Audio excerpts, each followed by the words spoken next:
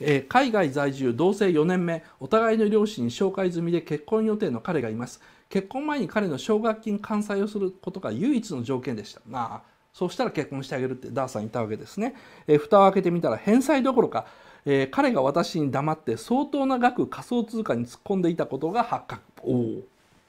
彼の学生時代から研修医1年目の今まできっと毎日大変だろうと。研修医ってことはまあ医者なんですね彼は。はいはい、きっと毎日大変だろうと思い家事は全て私が休みの日に何もしないのも我慢しお昼代がかからないようにとお弁当を詰めた毎日。私自身も大学卒業後に日本に帰国したい思いなどあり迷いましたが新卒カードを捨てて日本で頂いていた内定も蹴り2人の未来のために現地のパッとしない会社に就職しました。やりきれない気持ちでいっぱいです。こんな人の気も知らず最低なことをするぐらいプライドもないくせに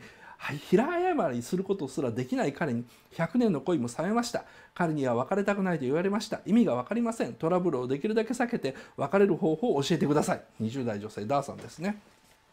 まあ仮想通貨に突っ込んでたということはまあ黙ってギャンブルしてたわけですよね。でまずポイント1ダーさんはもしその仮想通貨で彼が大儲けしてたら怒ったかどうかなんですよ。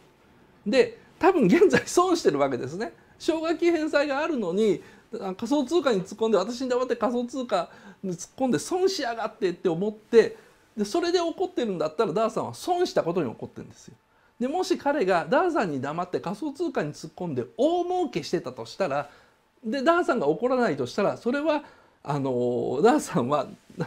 なんだろうな儲かったことで OK 出すタイプの人なんです。で大儲けしててもそれでも怒るって言うんだったら私に黙ってしたことに怒るタイプなんですよね。まあまあそこの違いがあると思います。で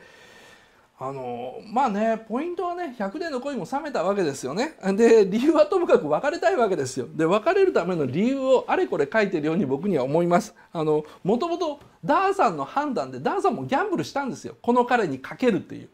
あの今の彼と全く同じ今の彼は仮想通貨にかけて負けた。ダーさんは今の彼にかけたわけですね。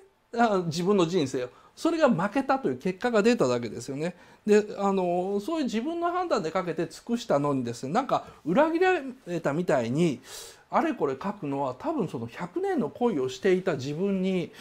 対する裏切りじゃないかなと思うんですけどね。人間って自分が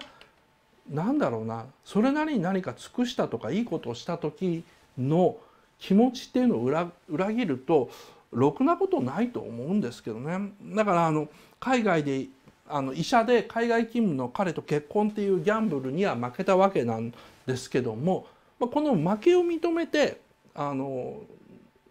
なんだろうな。彼とやり直すっていう選択肢とさっさと彼を捨てて逃げるの2択だと思うんですよ。あのどっちかの2択だと思うどっちもしんどいと思いますけども